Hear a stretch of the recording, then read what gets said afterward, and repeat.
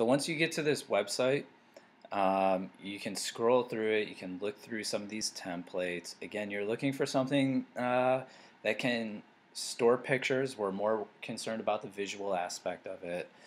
Um, I'm just going to go ahead and pick this one here. Again, this will give you a more detailed look of it. You can kind of check it out, see if it will fit your needs. And when you're happy with it, um, oh, I guess the other thing I'll point out, you can see how this is going to look on a phone or a tablet, uh, which is kind of cool. So, you, know, just another way that uh, people can view it. When you're happy with a theme, you go ahead, click use this theme.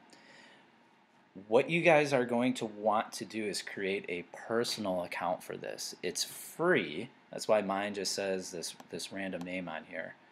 Um, but you're going to want to create uh, your go through the process of creating your own account. Use your own personal email address. That way this will stay with you uh, after you graduate and you can continue to share this and use it. Um, so do not use your Rockford Christian account to, to create this. Alright so once you get this set up um, it's pretty straightforward to to customize this you're just going to update some things here. You could put a little bit of, you know, about me. I'm learning Adobe Illustrator.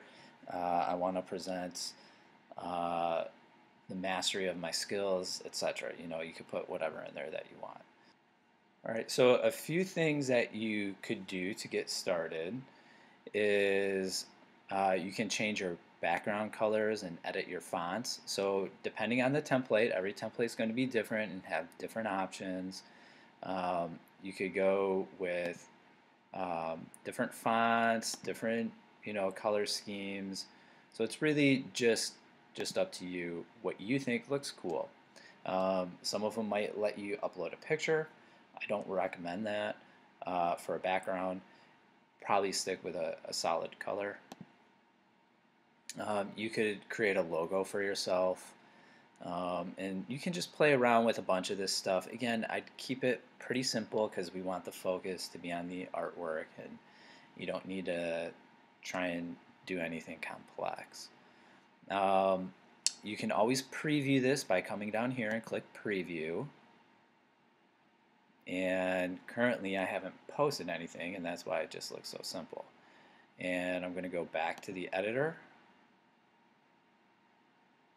and scroll back down to get a picture in. I'm going to click, you know, most of them are going to have a plus button here. I'm going to click that.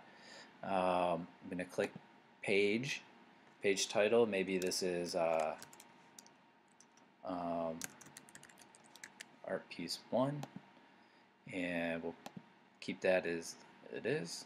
Create page.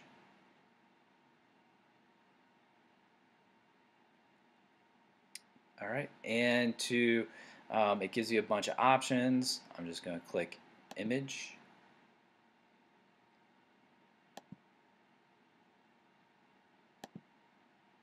And you'll plug in any one of your images here.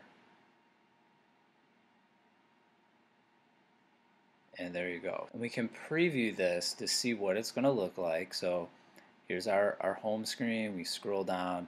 If uh, and we see that. And again, we can click here, and it's just going to show you a bigger, bigger image of it. Okay.